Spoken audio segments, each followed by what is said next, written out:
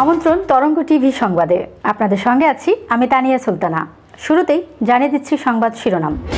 মুজিব বর্ষের আগেই ঘরে ঘরে বিদ্যুৎ পৌঁছে দেওয়া হবে বলে জানিয়েছেন প্রধানমন্ত্রী শেখ হাসিনা। আমরা শতভাগ বিদ্যুৎ দিতে সক্ষম হব বলে আমি আশা করি।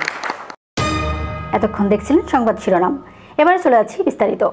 মুজিব বর্ষের আগে ঘরে ঘরে বিদ্যুৎ পৌঁছে দেওয়া হবে বলে জানিয়েছেন প্রধানমন্ত্রী শেখ হাসিনা। সুষম উন্নয়নের মাধ্যমে তৃণমূল পর্যায়ের মানুষের ভাগ্য পরিবর্তন করতে কাজ করার কথাও জানান তিনি। বিদ্যুৎ ব্যবহারে সাশ্রয়ী হওয়ার আহ্বান জানান তিনি।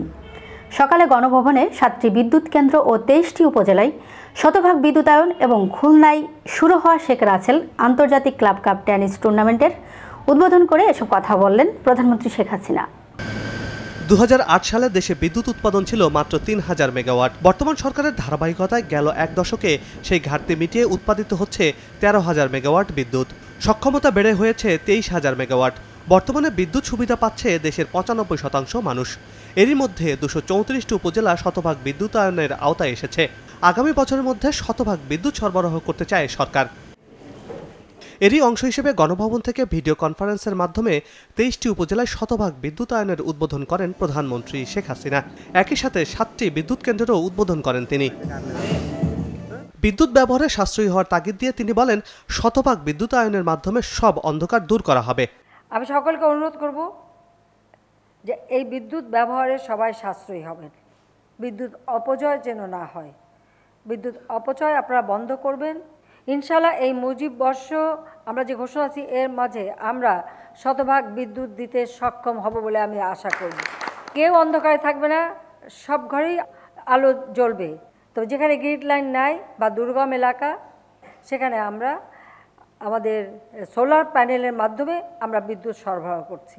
চাষযোগ্য জমি সংরক্ষণ করার কথা জানিয়ে প্রধানমন্ত্রী সুষম উন্নয়ন নিশ্চিত করে মানুষের ভাগ্য পরিবর্তনের প্রতিশ্রুতি দেন। উন্নয়নটা এটা শুধু শহরে বসবাস করা বা রাজধানীতে বসবাস করা কিছু মানুষেরই উন্নয়ন না। উন্নয়নটা হচ্ছে একেবারে গ্রাম পর্যায়ে, তৃণমূল পর্যায়ে যে মানুষ, তাদের ভাগ্য পরিবর্তন করা আর্থসামাজিক উন্নতি করা তাদের জীবন মান উন্নত করা সব থেকে অগ্রাধিকার দিয়েছিলাম আমরা খাদ্য নিরাপত্তা নিশ্চিত করা। আজকে ইনশাল্লাহ আমরা খাদ্য নিরাপত্তা নিশ্চিত করতে পেরেছি। এখন খাদ্য পুষ্টি সম্পর্কে আমরা সচেতনতা সৃষ্টি করা এবং এই ব্যাপার নিশ্চিত করবার পদক্ষেপ আমরা নিয়েছি।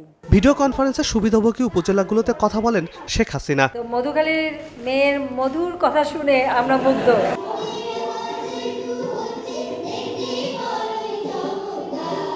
এই ছিল তরঙ্গ টিভি সংবাদ। তরঙ্গ টিভির সর্বশেষ সংবাদ জানতে ও ব্যতিক্রমধর্মী সংবাদ এবং বিনোদনের খবরাখবর পেতে লাইক কমেন্ট ও শেয়ার দিয়ে সাথে থাকুন ফেসবুক ও ইউটিউবে আর ভিজিট করুন W W W dot Tarang TV dot com এতক্ষণ সঙ্গে থাকার জন্য ধন্যবাদ সবাইকে।